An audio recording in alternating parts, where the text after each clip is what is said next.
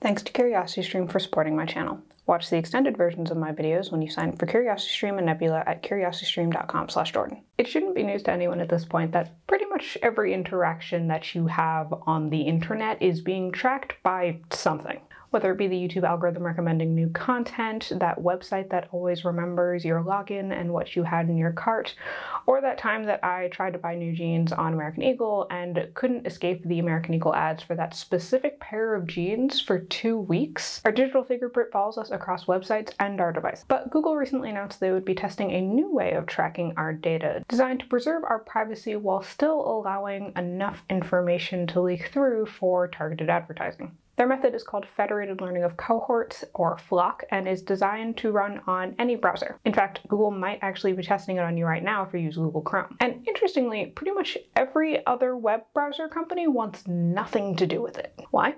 Well, before we get into why every other company seems to think that FLoC is a bad idea, let's talk about how you're currently tracked on the internet. Alright, so right now, as a person who is currently on the internet, there are a few different ways that websites can track you. One of those ways is through login. In fact, if you're using Google Chrome right now, like I am, chances are you are logged into Google through Google Chrome, which allows Chrome to track you as you go through the internet. And if you're wondering, you can turn this off in your privacy settings. Another way is through cookies, which you've probably heard of but might not have actually known what they were. In fact, I didn't didn't really understand what they were until I started researching this video. Cookies are created by websites and stored by your browser as ways of remembering things like your login information for a particular website and what you last had in your cart. And some cookies are specific to the website, but others actually track you across multiple websites, even after you leave the original one.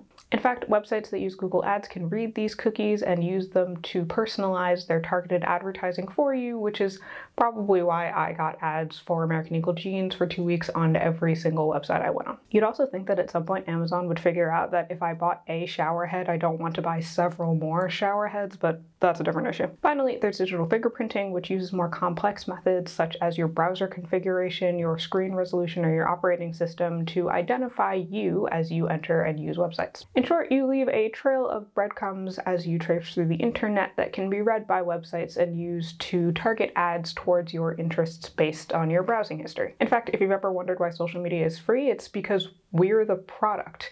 These websites collect information on us and sell that to advertisers to use for targeted advertising, and that's how they make their money. Fortunately, though, internet privacy is something that the general public has become more aware of in the last couple years due to concerns around hacking, having passwords that people can't guess, and just general personal privacy. In fact, you've probably seen a lot of advertising about VPNs and how they can protect you from these types of attacks, although that turns out to be a little bit more of a nuanced issue than the advertisements might make you think, and if you want to learn more about that, you should check out Tom Scott's video on VPNs. But with increased public awareness around internet privacy have come some privacy-focused internet browser options, including Brave, Firefox, and interestingly, Safari. In fact, if you use Safari every time you open up a new window, it will tell you how many trackers it has blocked in the last week. There's also been an increased number of proposals for privacy-preserving systems that allow people to go through the internet without being tracked all the time, while still allowing for personalized advertising or some amount of targeted advertising. And that's where federated learning of cohorts, or FLoC comes in. FLoC uses federated learning, which is a privacy-preserving machine learning technique, to create cohorts of internet users with different interests. Maybe you're really into tennis, or maybe you're a woman between the ages of 25 and 34. Both of those could be cohorts that companies could then target their advertising around. If you'd like to learn more about the details of federated learning, I have a video on that that I'll link down in the description and throw a card up here. But in short, it is a method of training models locally on mobile devices so that the data never leaves the device, and then sending that model back to a centralized cloud model that averages out all of the weights from everyone's individual data without actually having to see the data itself. And in Google's proposal, the number of FLoC cohorts would be relatively small compared to the number of users, such that that an individual user would never be their own cohort. And to be clear, this is not the first privacy proposal of this sort. In fact, of the many internet proposals which have many fun and quirky acronyms, Google's FLoC is one of the more recent ones. It was announced as part of a larger proposal for the Chrome Privacy Sandbox, a new initiative by Google which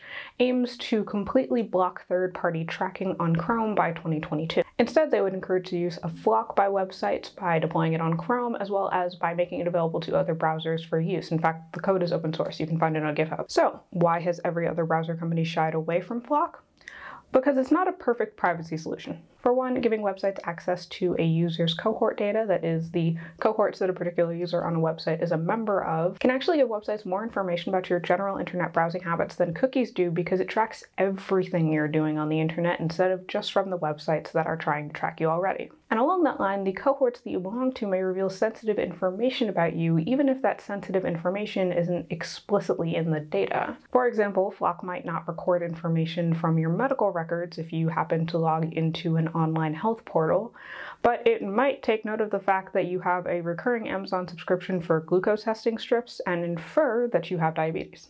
Another issue is that it still might actually be possible to identify you based on your cohorts. Depending on the number of total cohorts created, a website might be able to look at the unique set of cohorts belonging to a user, in addition to other information such as their IP address, and figure out that you're the same person who was here last week because you're part of the same group of cohorts. One of the ways that Google has proposed to minimize this risk is by only using data from the past week of your browsing history to both preserve your own privacy while also keeping your cohort assignments up to date based on your current interests. However, this can introduce an additional problem, that of being able to track your interests over time. If a website's able to identify you as your cohort assignments change based on your interests that particular week, that information about how your interests have evolved over time can actually be used as another predictive variable for targeted advertising advertising. In short, FLoC isn't a perfect privacy preserving system and may actually introduce additional privacy concerns for browsers that use it. To be clear, this isn't to say that Google's proposal is bad. In fact, they acknowledge all of these concerns on their website as part of the original proposal